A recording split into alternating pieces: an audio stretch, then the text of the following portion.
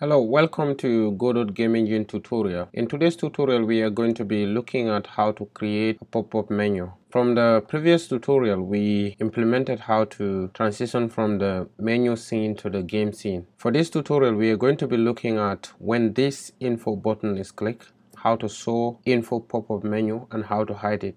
And the same for the setting pop-up menu. Now let's go ahead and get started. To get started, let's open up the Godot application and open our previous game project. Now let's go ahead and open it. Now i already went and create pop-up menu game assets that i'll be using. Now if you need them you can let me know so that i can upload them to github or at my website so that you can download them. However i will encourage you to try to learn to create your own game assets since in the long run it is something that will really be beneficial to you. Now let's go ahead and create the pop-up menu. Now for this tutorial we need two pop-up menus. That is the info pop pop-up menu and the setting pop-up menu. Now let's make sure that the menu scene is selected since this is going to be the parent of the pop-up menu. And then we press the plus button and then search for pop-up. And for this tutorial we are interested in the pop-up menu. Now let's go ahead and create it. And by default it is hidden. So we can just go ahead and just press the plus button to show it. Now from here we can rename it as info pop-up menu or you can name it anyhow you want. And now we are going to add different nodes to this pop-up menu. Now let's go ahead and add a background that is going to be a sprite node we just make sure that the pop-up menu is selected and we search for sprite node and then we give it an image. Now in my asset folder i have pop-up asset. Now that's where i keep all my distance so i just select the pop-up menu background. Now from here i also want to add another sprite image. That is just i duplicate this one and rename it as just logo and then give it a info icon. Now i want to position this on top so that the person will know that this is an info pop-up menu. Now info pop-up menu will also have a text label but for this tutorial since godot default text system is not really very pretty now we're going to be using a text image for this tutorial however in the later tutorial i'm going to show you how to use a custom text labels in your Godot game project. Now for now I'll just use a sprite node. I'll just duplicate the logo and name it as game description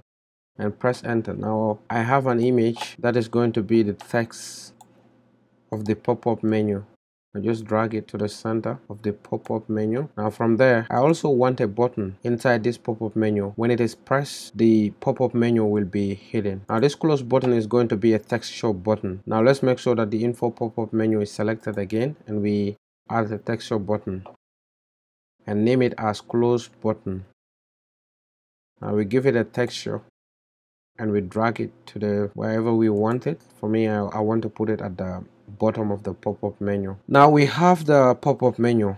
Now let's go ahead and center it at the center of the game. Now we can select the parent node that is the pop-up the info pop-up menu and head over to the position now we can center it at 375 that is half of the screen and 667 i want to center it at the center but this one i'm going to lower it a little bit it's going to be 800 so that i want to hide the play button. Now after adding the info pop-up menu and aligning it at the center of the game screen we can also do the same for the setting pop-up menu. For simplicity's sake i'm just going to duplicate the info pop-up menu by pressing command d and renaming it as setting pop-up menu and then for the setting pop-up menu it's going to have a background and of course a logo. But the logo for the setting pop-up menu is going to be a gear icon. Now i just go ahead and change the logo to a gear and there is not going to be any game description I'll just go ahead and delete that by you right click on the sprite and then down at the bottom of the options you'll see delete. So you just delete it. Now it's also going to have a close button and plus three other buttons now what I will do is I will duplicate the close button and add the various textures for the three buttons. Now the first button is going to be mute sound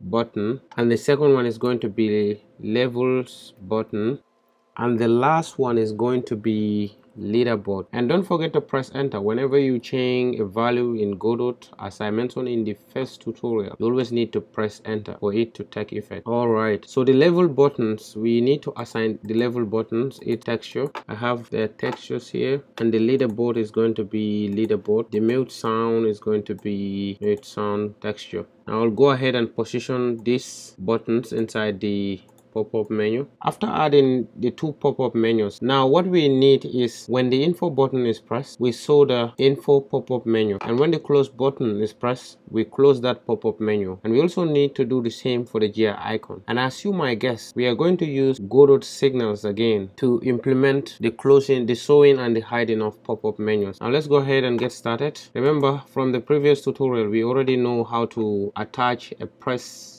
signal to a button. Now we just select the info button. We head over to the node on the left side of the inspector and then select this press signal and then connect it to the main script. That is the menu script we created in the previous tutorial. Now we want to show the pop-up menu. That is the info pop-up menu. Now to show the info pop-up menu, we first need to reference it in our code. Now if you're from HTML5 and JavaScript, as you know, if a div have an ID, you need to reference it. You need to get the element by ID. Now in Godot 2, you also need to get get the component. You need to get the node and that node you can manipulate it anyhow you want. Now we first need to get the info pop-up menu. Now let's let us first go ahead and declare a variable that is var. We call it info pop-up menu. And at the ready function that is the function that is called when the scene is loaded when it is ready. Now that's where we are going to get the info pop-up menu. Now we'll just say info pop-up menu is equals to in godot you just get the node and then the part of the node. The one we need is the info pop-up menu. Now we have a reference to this info pop-up menu. Now if you want to close it, we just need to go inside the signal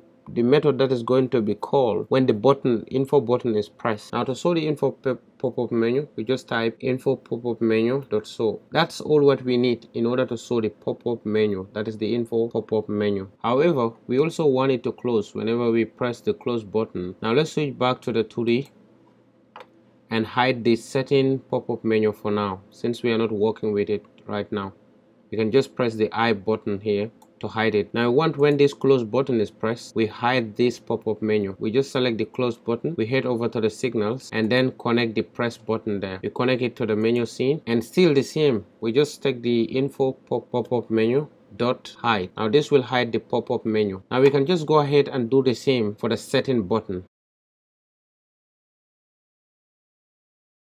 Now after doing the same for the setting pop-up menu, the first thing I did was to have a variable that is a reference in order to reference the setting pop-up menu. And I switch to the main scene and connect the setting button. That is whenever it is pressed to show this one. That is what I did here. I just went to the signals and connect that to the main script. And when it is shown, I just want to show the setting pop-up menu. And also since the close button in both pop-up menu are the same, so they will all be connected to this function. So that's why I just put both menus. Like whenever the close button is pressed both of them should be hidden. Now let's go ahead and run our project and see.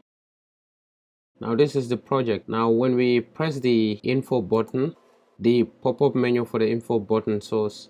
And when we press the close button it closes. Now let's press the gear button. Now the setting pop-up menu will also show and if you press the close it will close. Now that's it for this tutorial. Since I don't want to cover animation players in this tutorial until future tutorials that's it for this tutorial. In the next tutorial we are going to be looking at the how to create our player. And in the future tutorials we are going to look at how to polish the games and other stuff. Thank you for watching. See you in the next tutorial